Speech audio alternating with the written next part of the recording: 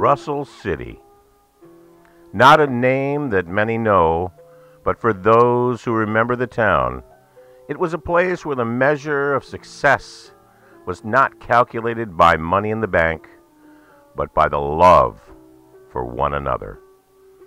Those who live there remember a children's librarian who had students over to her home for cookies and milk, families who shared the bounty of their backyard gardens and orchards. During the 1950s and 60s, the homes, the churches, and stores of Russell City were bought up by the city of Hayward through eminent domain proceedings. The families were scattered to other towns in the region. Since 1978, former residents come together at an annual reunion picnic. They spend the afternoon in a park remembering the community that they shared. This film is about the memories and friendships that endure.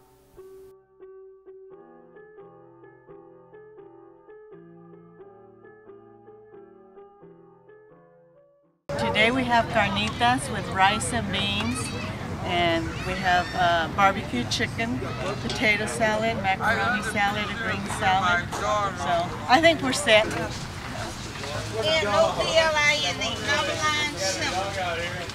The Holman family, Margaret Holman, Oh, Rita okay. Holman, Yeah, yeah, yeah. Holman, Yeah. Robert Holman. I know Liz. Old memory. Going, going, going through memory hill right here. There's a lot of people who say Russell City and they don't even know what that is. They don't know where it was at or anything about it really. Um, and a place where we can just record our history for this area because especially out here, people of color, uh, we don't we don't seem like you know we don't have any we don't have anything established yet. So that's what we're kind of working toward now. a few of these people got together and uh, I'm going to say about 1970, somewhere in there, Jane. 65 or 70, after it was down, maybe about five years later.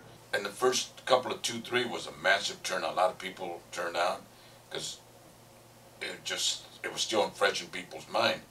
And as the years went by, uh, the Dukes Club, it's a club in Oakland, and I guess they belonged to it, these six or seven people that got it going.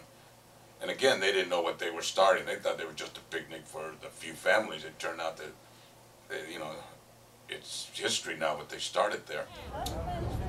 The Duke Sportsman Club taking over to start having a this Russell City reunion. Well, it first started out with me and uh, Ruby Tolefree Whale. It started out after her husband passed, and we were sitting down talking, and we were talking about we never got a chance to see anybody from Russell City until we come to funerals and things. And so that's how it got started. We, me and her just called people that we knew the first year. And then the second year, the Duke Sportsman Club taking over. And we just started having an annual picnic to feed the old people then. But people got to enjoying it so much that we just started feeding everybody. And uh, I forgot how many years we did it, but it was quite a few years. And then after then, the Sam Nava taking over. Because we was all burnt out, and so he taken over and he started sponsoring it. 23 or 24 years that the Duke Sportsman Club sponsored it. all the people that used to have it got a little bit, you know, older, and they felt like maybe some of the younger people should take over, and I think that's when Sam took over. You know, so we've been doing it ever since. The reason the crowds have dropped down, because a lot of the people now are older, and a lot of them have passed on. Sorry to say. So basically, if that town was basically shut down in '64, you almost have to be like 40 years old just to say you lived there. So you can see some of the younger people, it's just because they go because their parents or grandparents lived there, not because they were there. So it don't really carry the same thing as actually saying you were there. And these people that go here, this is where they belong. And I, and I appreciate what they do and the time they take off to go spend with us out there. That's what makes them, makes this whole thing, not us, but the people. The city may be gone, but our memories live on. Yeah. I was born in 1954. They're raised in, on Adams Street. Then I lived in Stone Alley. We married Robert Stone. He's deceased now. Came here when I was four. My daughter was the last child born. Well, I came when I was five years old. Angie, how are you? I was five years old. We all got along very well in Russell City. There were a diverse races out there, but everybody got along because it was such a compact little place. I, I was born in 1936 and till 1952. And I graduated from Russell City School, the eighth grade. We moved there in uh, 1944. I didn't go to school in Russell City, but my, my brothers and sisters did and went on to Hayward High. I grew up in what in uh, probably the, the 50s. I was there. I, I went to I went to Russell School, the grammar school, from kindergarten to high school. Mi nombre es Ernesto R. Nava. Yo vine de, ahora, de Nuevo México, aquí a, a- no a Russell City exactamente, pero yo vine a California en el 1936. I lived there uh, uh, from 45 up until 63. Oh. But when we were out there, they would do nothing for us.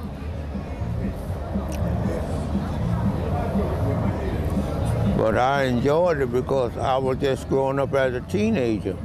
And I enjoyed it out there. We had to go to Hayward to go to the movies and different things like that. Or go to Oakland, you know, but we didn't have nothing like that out there. But it was just, just like I said, we just enjoyed each other. We just all got along out there, and it was very, it was a very nice place to live. It's a camaraderie there that exists amongst the people. People don't greet themselves. If, if you've been there, and people don't greet themselves with handshakes or or nothing like that.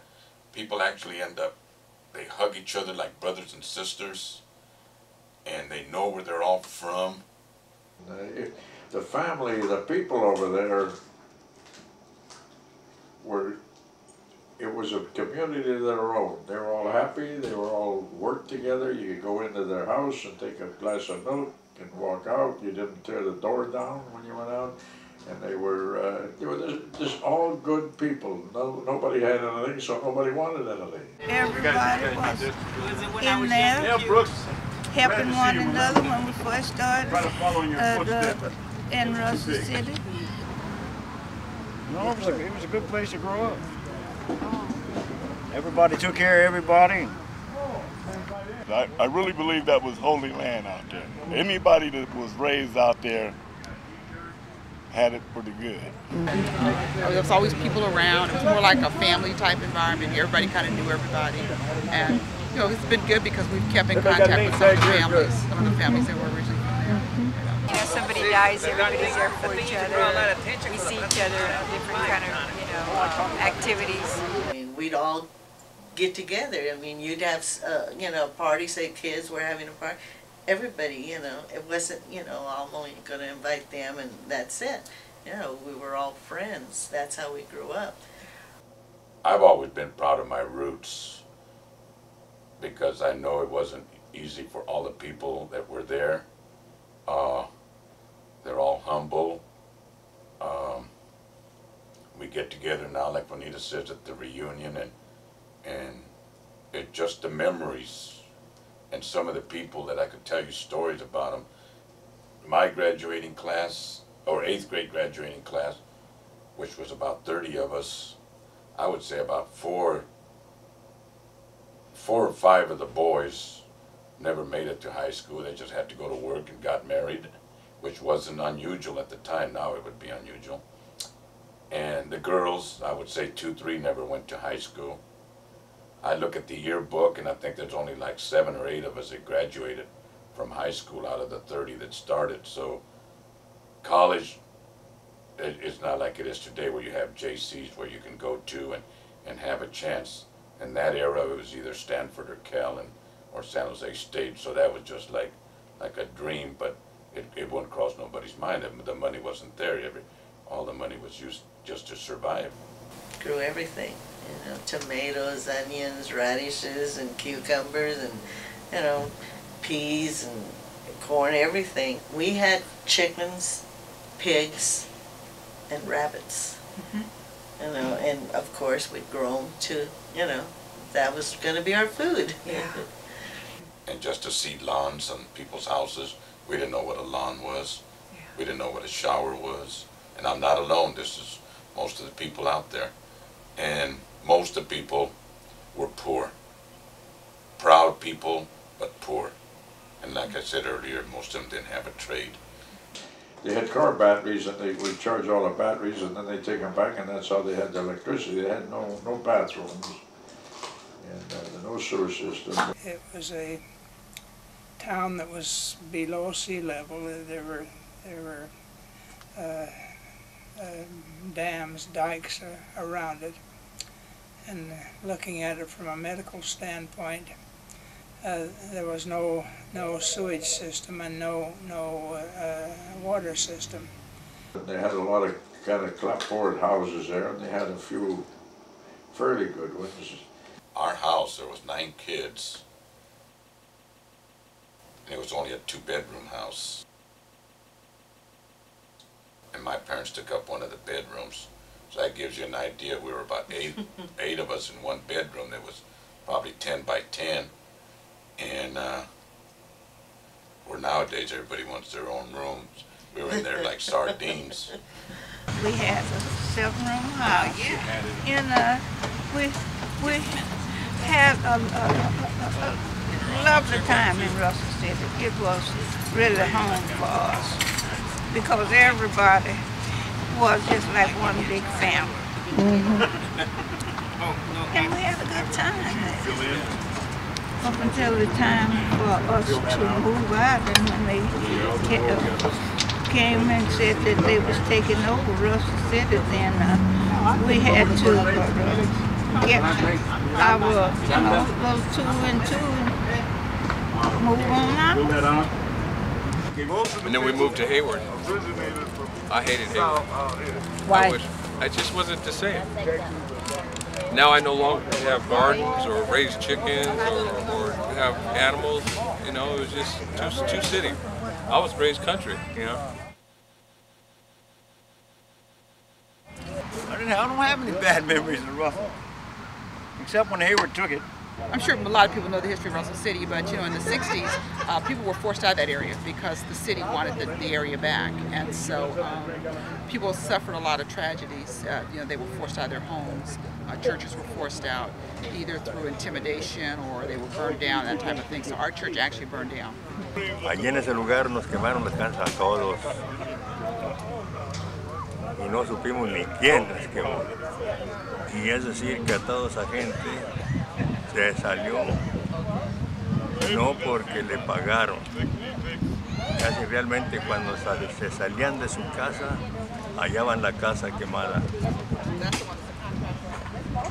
Y esa fue la razón que se salieron todos de los Una pobrecita gente que no tenía nada casi en absoluto ni qué comer, le quemaron sus casas también. Los bomberos nunca llegaron a tiempo de que una casa estuviera quemando. Ya cuando llegaban, estaban quemadas. It's been a, an experience for us. And I never knew that, that this uh, reunion we have and, and, and the people still showing an interest in it was ever going to come to that. I, thought, I always thought that once it went down, that was it. Nobody would ever remember it again. I thought it was history then. I wish sometimes I'd have taken more pictures, but who, who was to know it was going to become something here 50 years later that people would still be, you know, talking about that city. The way I described Russell City, it was like a six block, six square block area. The streets that went north and south were paved, but they weren't very wide. You could barely make it through with two cars. And the streets crossing it, which went by one, two, three, and four, and five, whatever, they uh, they were dirt roads.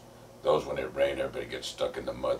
We had the yard right next to Russell City, the 15 acres right next to Russell City. And the next to, to my yard was the Turk Island dumps. And on the other side of the street was the garbage headquarters, next, across from Turk Island dumps. And right across the street wasn't it, for Santucci Hog Farm. I think it was great. Uh, the hog ranch that was right nearby, we used to go over and ride the pigs all the time. Mm-hmm. oh yeah, I did that one time. Mm-hmm. But God, the smell, my mother wouldn't let me in the house. The smell of the of the hog ranch. Mm-hmm. The, the dairy was right in Russell City. The bulls in the back, I remember going to her backyard looking over the fence. There were bulls and my older brother and sister used to scare me and tell me if I wore my red sweater, they were going to get me. the dairy for one, the hog ranch, junkyard browns, had all the junk and everybody had junk. They either sold it to Junkyard Brown or either they bought some from Junkyard Brown. My grandfather, he traded with, with Junkyard Brown. Whatever you had he didn't want, he sold it to Junkyard Brown. So he was the guy that uh, all the junk you didn't want, he bought it. and every Sunday, we'd have a whole lot of people come down. They just come down on Sunday and they'd look, you know, was, uh, we were open Sundays, incidentally, and we were open every day. But uh, uh, it, it was a lot of fun. It wasn't like it is today, let's put it that way. I used to attend church in Russell City as a young girl. And my grandfather and my grandmother, the O'Neills, and they were very active in the uh, First Baptist Church of Russell City. You knew on Sunday you got up, especially as the Catholics. Mm-hmm. We'd get up on Sunday. We knew. We would just automatically start getting ready for church, mm-hmm. you know, and the whole family would go. Mm-hmm. I mean, that was just something we did. See, I believe everybody that lived there really loved Russell City. When you're living there, you really don't know that later on in life you wish you'd have taken more pictures of, which I regret. That I can say, okay, this is the streets, this is the way it looked, because it's kind of hard to explain, because the people there were poor, and that's basically what drew a lot of people there. And after the Russell City went down and, and, and it became history, I just didn't, never appreciated the era that I lived in. Now I look back and I can't even explain to somebody and take them to a town and say, this is the way it was where we grew up. There's just no places around. But I've always been proud of it. And everywhere I go, and I'm never ashamed to say that I'm from Russell City. Always proud of it. And proud of the people that, that, that came through there and, and, and we still get together for that reason.